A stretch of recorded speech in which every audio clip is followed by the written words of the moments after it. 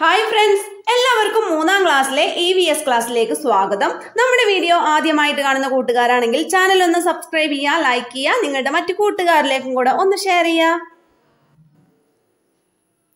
രണ്ടാമത്തെ പാഠമാണ് ഇന്ന് നമ്മൾ ആ തുടങ്ങിയത്. പാഠത്തിന്റെ പേരെന്താണ്? കുഴിയാന മുതൽ കൊമ്പനാന വരെ.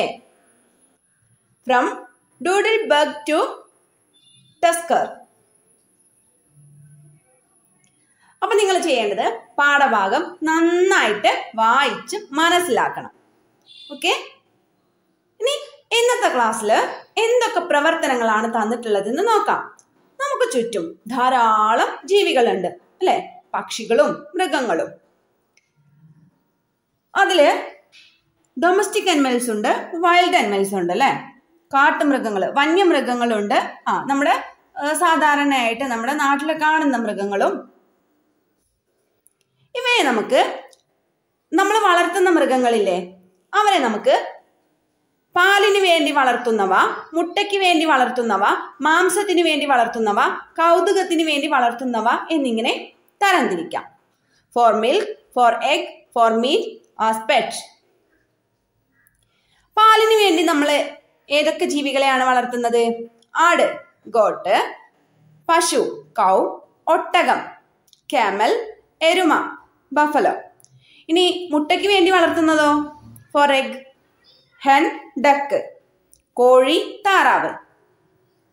ആ കാടക്കോഴിയെ നമ്മൾ ആ മുട്ടയ്ക്ക് വേണ്ടി വളർത്താറുണ്ട്.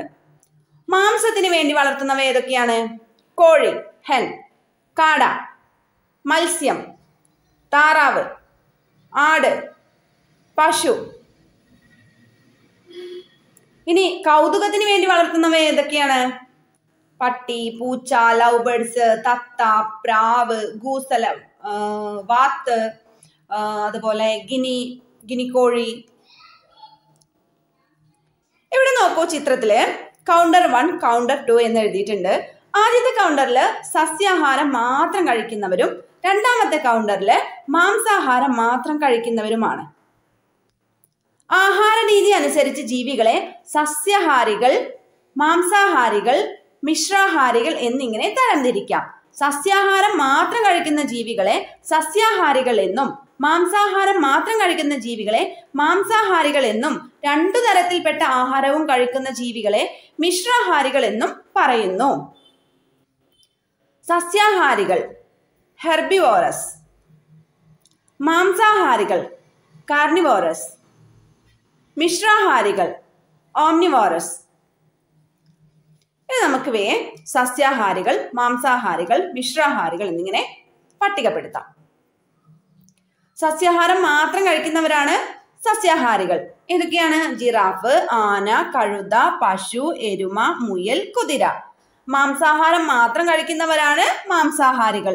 കടുവ മുതല സിംഹം കഴുകൻ ചെന്നായ.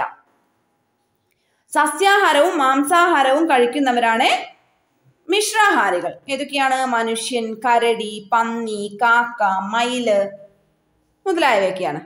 അപ്പോൾ ഇന്നത്തെ ക്ലാസ്സിൽ ഇത്രയും പ്രവർത്തനങ്ങളാണ് തന്നിട്ടുള്ളത്. കൂട്ടുകാർക്ക് വീഡിയോ ഇഷ്ടമായെങ്കിൽ ലൈക്ക് ചെയ്യുക. നിങ്ങളുടെ മറ്റു കൂട്ടുകാരിലേക്കും കൂടെ ഒന്ന് ഷെയർ ചെയ്യുക. ഓക്കെ നമുക്ക് അടുത്ത ക്ലാസ്സിൽ കാണാം. താങ്ക്